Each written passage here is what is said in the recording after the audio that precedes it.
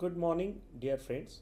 I'm Dr. Sachin Gengaje, Head of the Department, Electronics Engineering at Walchand Institute of Technology, Solapur. In today's lecture, we are going to have a look at some more characteristics of op-amp. Since last few sessions, we are discussing about the different characteristics of op-amp. Today will be the last session about the characteristics of op-amp. The learning outcome of this session includes after this session the student is able to explain few important DC and AC characteristic of practical op-amp. The content include important DC characteristics of op-amp and important AC characteristics of op-amp. As we know, operational amplifier is directly coupled high gain amplifier and it is available as a single integrated circuit or IC. It's a very versatile device and we can design different applications that can perform mathematical operations like addition, subtraction, multiplication, integration of analog signal. And op-amp can also be used to amplify DC and AC signal. We can design different applications like oscillator, active filter, comparator, regulator using op-amp. In the last few sessions, we have discussed about important DC characteristics of op-amp which include input bias current which is nothing but the current entering into the average of current entering into the inverting and non-inverting terminal of op-amp input offset current which is an absolute difference between the current entering into the inverting and non-inverting input of an op-amp differential input resistance or input resistance which is nothing but the resistance between the two input terminal of the op-amp that is inverting and non-inverting terminal. Similarly the capacitance between these two terminal the equivalent capacitance between these two terminal is called as an input capacitance. As we know we have two pins dedicated to 741 like op-amp pin number 1 and 5 where we can connect the pot and can adjust the output voltage offset voltage equals to 0 and that voltage is the input voltage or rather the voltage between the pin number 1 and 5 which is required to adjust the output offset voltage equal to 0 the range of this voltage is called as an offset voltage adjustment range. The common mode rejection ratio is an ability of the op amp to reject the common mode signal and amplify the differential signal.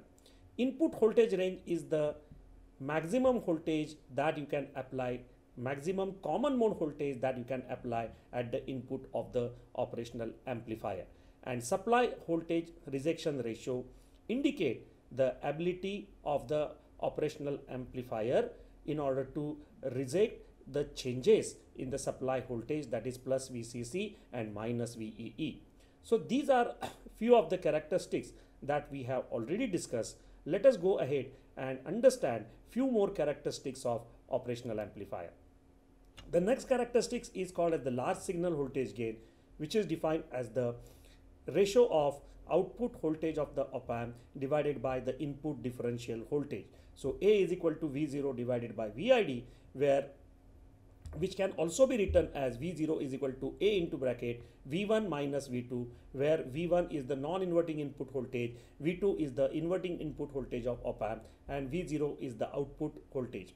A is called as an open loop gain or which is also called as large signal voltage gain and usual value of A is very high. For example, for the op amp like 741C, the value of A is 200,000.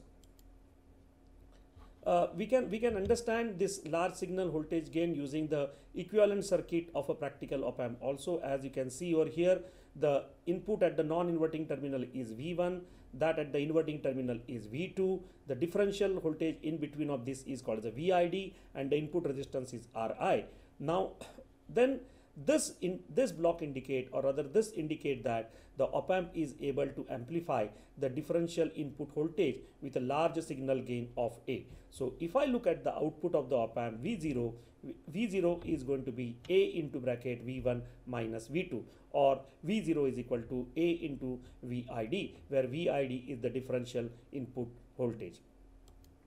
The same thing can also be understood using this voltage transfer curve so on, on x-axis we have a differential voltage on uh, so this, this indicate a positive differential voltage. It means that non-inverting input is greater than that of the inverting input. On this side you can see that the differential voltage is negative. It means that the inverting input is greater than non-inverting input. So x-axis represent the differential voltage while the y-axis represent the output voltage of an op amp.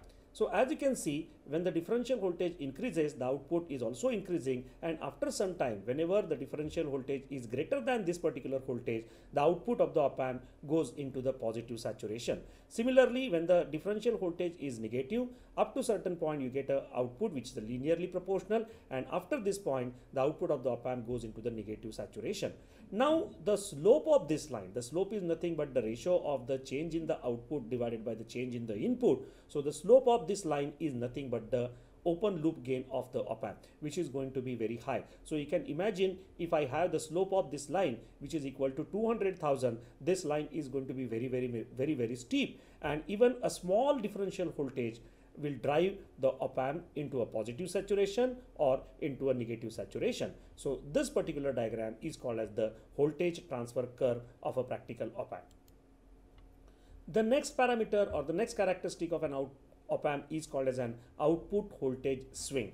Output voltage swing indicate the value of positive and negative saturation voltage output of the op amp and we know that it is never going to exceed the limit of the supply voltage of the op amp which is nothing but the plus VCC and minus VEE. So theoretically from this even theoretically from this equation for example if I assume A is equal to 200,000 and suppose V1 is equal to 2 volt and V2 is equal to 1 volt then one may say that the output of the op amp is 200,000 into 1 which is equal to 200,000 hold that is not possible because the output of the op amp is limited by output voltage swing which is always lesser than the supply voltage. So that voltage, the saturation voltage of the output of the op amp is called as the output voltage swing.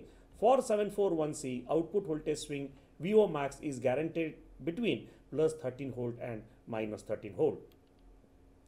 The next parameter is called as an output resistance. Output resistance R0 is the equivalent resistance that can be measured between the output terminal of, of the op amp and the ground.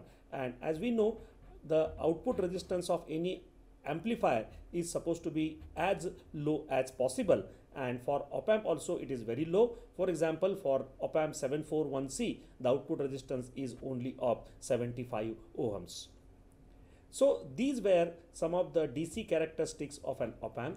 Let us have a look at few AC characteristics of the op-amp. The very first characteristics, AC characteristic of an op-amp is called as the transient response. Now even we know that for, a, for, for any of the amplifier or any of the circuit, if the input is changing, the output is also changing and the measurement of that is called as the transient response. The response of the op amp when the input has reached to a steady state value and remain at that level is independent of time and that response is called as the steady state response. Similarly, the transient response of an op amp is characterized by, characterized by two factor. One is called as the rise time and the second one is called as an overshoot. What is a rise time and overshoot? The time required by the output to go from 10% to 90% of its final value is called as the rise time and overshoot is nothing but the maximum amount by which the output deviate from its steady state value that that is called as an overshoot. Usually overshoot is measured in terms of percentage. And for 741c the rise time is 0.3 microsecond and overshoot is about 5% the next important parameter of op amp is called as the slew rate Slew rate is defined as the maximum rate of change of output voltage per unit time and it is usually expressed in volts per microsecond. So slew rate is defined as a dV0 by dt where V0 is the output voltage. So dV0 by dt represent the change of the output voltage with respect to time and it is always uh, indicated as the maximum value. Uh, the slew rate is actually indicating how fast the output of the op amp can change in response to the input. And for a given operational amplifier, the slew rate is fixed and hence that puts a limit on the high frequency signal that we can use with that particular operational amplifier. For example, for the popular op amp 741C has a very low slew rate of 0.5 volts per microsecond. It means that the output of this op amp 741C cannot change by more than 0.5 volts per microsecond.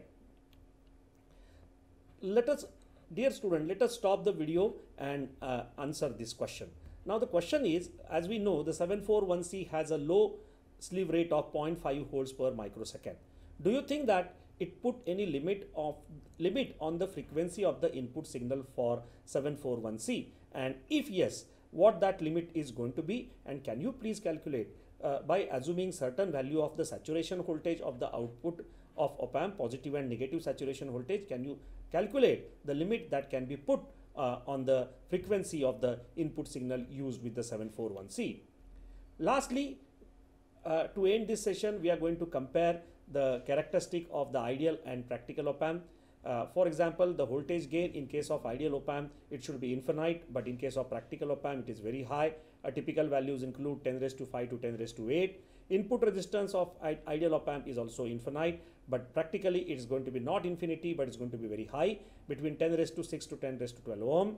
Output resistance of an ideal op amp is zero, but practically it is not zero. It is very, very small, uh, say 75 ohm for 741C. Bandwidth is supposed to be infinite for an ideal op amp, but we know that for any for any amplifier the gain bandwidth product has to be constant and that's why if the gain is very high practically the bandwidth of an open loop op amp is going to be very low and lastly, the output offset voltage is expected to be, expected to be zero for ideal op amp, but for practical op amp, it is, it is not zero, it is in few millivolt. So with that, we come to the end of the uh, today's session and I'm leaving you with two questions. The first one is that what are the different AC characteristics of an op amp and how the different AC characteristics govern the choice of the op amp uh, we, we know that many op amps are available on the shelf and which of that uh, we are going to use for a particular application. So how these AC characteristics decide which op amp to be used for a particular application. So uh, references for today's session are the two books. One is by Ramakant Gayakwad and the second one is by Roy Choudhury. Thank you dear student for patient listening.